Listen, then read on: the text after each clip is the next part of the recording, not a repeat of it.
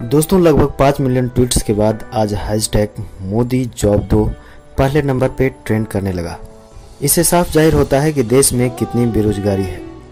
इस बेरोजगारी और बढ़ते भ्रष्टाचार के खिलाफ लोगों का गुस्सा बढ़ता ही जा रहा है। दोस्तों अलग अलग लोगों के अलग अलग ट्वीट्स में अलग अलग जवाब थे। सभी ने अपने अपने तरीके से जवाब दिया और बहुत सारे टीचरों के ट्वीट्स को हज़ारों में रिट्वीट भी किया गया। दोस्तों, हमें पता है कि इस पेंडेमिक स्थिति में गवर्नमेंट का सभी को साथ देना चाहिए। लेकिन इनके अलग अलग इंस्टीट्यूशन जैसे एसएससी रेलवे इत्यादि बदतर रवैये को देखते हुए छात्रों और टीचरों का ये कदम उठाना लाजमी है। वैकेंसियाँ बंद होती जा रही हैं, लोगों की नौकरियाँ छूटती जा रही हैं और सरकार प्राइवेटाइजेशन की ओर ही अपना कदम बढ़ाती जा रही है। प्राइवेट कंपनी तो नौकरियाँ दे सकती हैं अच्छी सैलरी भी दे सकते हैं, पर सबसे बड़ी कमी होती है जॉब सिक्योरिटी की। यानी कि आपको हमेशा डर रहेगा कि कब आपको नौकरी से हाथ धोना पड़ सकता है, आप खुद नहीं जानते।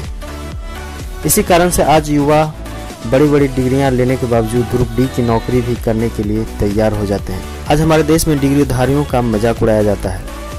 उसका कारण भी सरकार की एजुकेशन व्यवस्था ही है। अगर लड़कों को ग्रेजुएशन बीटेक एमटेक एमबीए इत्यादि में 60 percent, seventy percent eighty percent number आ रहे हैं। डिग्रियाँ अच्छे से मिल जा रही है। उसके बावजूद अगर न्यूज़ चैनलों पे मज़ाक उड़ाए जा रहे हैं कि इतनी डिग्रियाँ लेने के बावजूद के पास क्वालिटी नहीं है या क्वेश्चन का जवाब नहीं दे पाते हैं तो इसके दोषी आपके इंस्टीट्यूशन हैं। हमने सरकार बनाया व्यवस्था को सुधारने के लिए, जो सालों से खराब चल रही थी। अगर उससे भी हालात बदतर होने लगे तो इसके खिलाफ सभी को आवाज़ उठाने का अधिकार है। और ये अधिकार हमसे कोई नहीं छीन सकता। क्योंकि ये अधिकार हमें हमारा संविधान देता है। तो निडर होकर सामने आइए और आवाज़ उठाइए।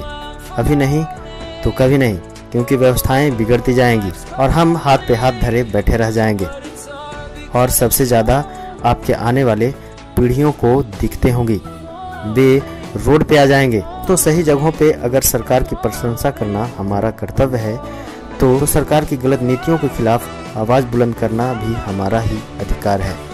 तो दोस्तों, हमारा ये वीडियो आपको कैसा लगा, हमें कमेंट के द्वारा बताएँ। हमारे वीडियो को ज़्यादा से ज़्यादा लाइक करें शेयर करें, और हमारे चैनल को अगर आपने सब्सक्राइब नहीं किया है, हमारे चैनल को सब्सक्राइब कर लें। आपका बहुत बहुत धन्यवाद।